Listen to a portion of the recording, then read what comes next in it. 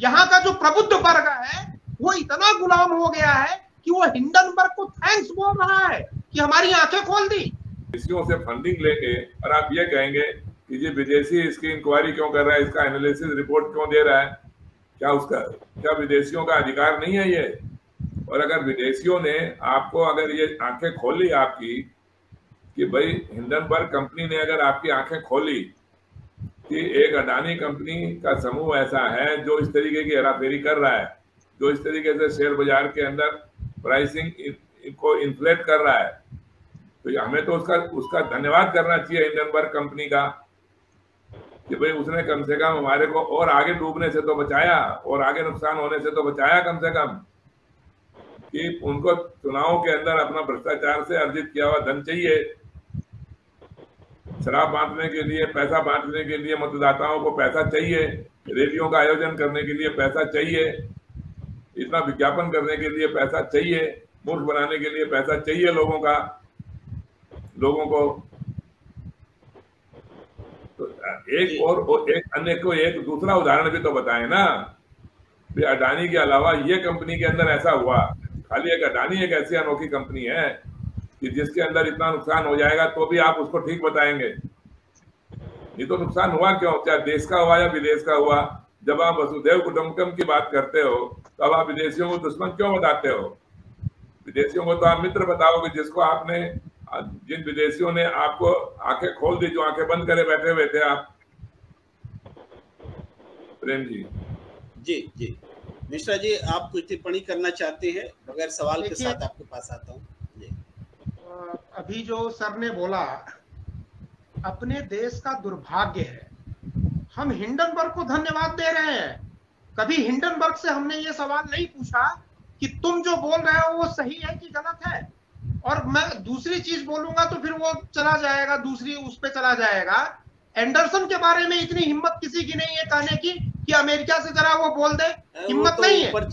Anderson ने बोल दिया। एंडरसन ने बोल दिया तो जी धन्यवाद। हमारे ऊपर एहसान कर दिया और रही बात चंदे की तो चंदे की कमी इस देश में पार्टियों को नहीं है वो जॉर्ज सोरस कर रहा है। एंडरसन ने जो प्रॉफिट कमाया वो जॉर्ज सोरस के थ्रू इंडिया में आ रहा है। उसने डिक्लेयर किया है। मैं इन चीज़ों को बोलना चाहता हूँ कि हज़ारों साल से ये जो षड्यंत्र चल रहा है आप आप जो है अजीब बात है हिंडनबर्ग हिंडनबर्ग तो रोक दीजिए ना मिश्रा जी ये भी तो सरकार की है ना। भाई आप देखिए पैसा भेज रहे हैं। कोर्ट और ज्वाइंट पार्लियामेंट्री कमेटी पे मुझे विश्वास नहीं है।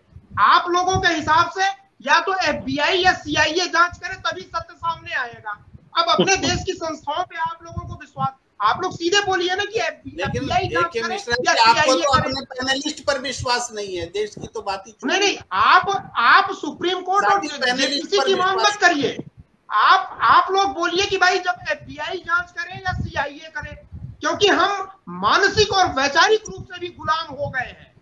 यहाँ का जो प्रबुद्ध वर्ग है वो इतना गुलाम हो गया है कि वो हिंडनबर्ग को थैंक्स बोल रहा है कि हमारी आँखें खोल दी।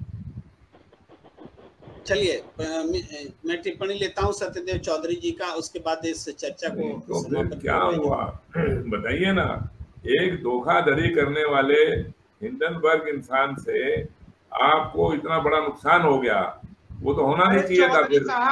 सॉरी सर देखिए मैं करतूते बताता हूँ ईरान और इराक का वार पूरा षड्यंत्र पे आधारित था फ्रॉड था अमेरिका ने करवाया था। अरे भाई अमेरिका ने हम उसके चक्कर में क्यों फंसे हुए हैं? हम ऐसे षड्यंत्र में धन्यवाद बोल रहे हैं आप आभार दे रहे हैं। हमारे देश की धन्यवाद दे रहे हैं।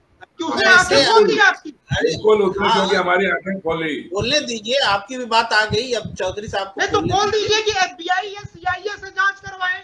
और चंदे की कहाँ कमी है? जॉर्ज सोरस उसको वेलकम करेंगे। जॉर्ज सोरस ने जो बोल दिया उसको भी धन्यवाद दे दीजिए कि हाँ भाई हमारे यहाँ पैसा दे रहा है।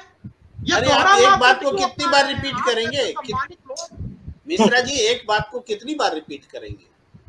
मैंने कहा कि सौरस के तरह की ओर से अगर यहाँ किसी पार्टी को पैसा आ रहा है तो रोकने की ज़िम्मेदारी केंद्र सरकार की है ना? आपको बताता हूँ अब हम नहीं भटकूँगा मैं उधर नहीं जाऊँगा। क्यों है? देखिए अब चर्चा को खत्म करने का समय है। पैसे मुझे देने हैं। सुप्रीम कोर्ट ने बोला कि भाई पैसे दे दो। सहारा ने एक्सेप्ट किया था कि मुझे पैसे देने हैं। लोगों का प्रेशर था कि पैसे लौटाओ निवेशकों का प्रेशर था।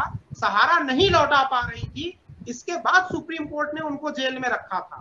देखिए सहारा ने खुद बोला था डेट दिया था मैं सुन लीजिए सहारा के बारे में अनिल गुप्ता जी मैं स्वयं सहारा परिवार में रहा हुआ व्यक्ति हूँ हमें भी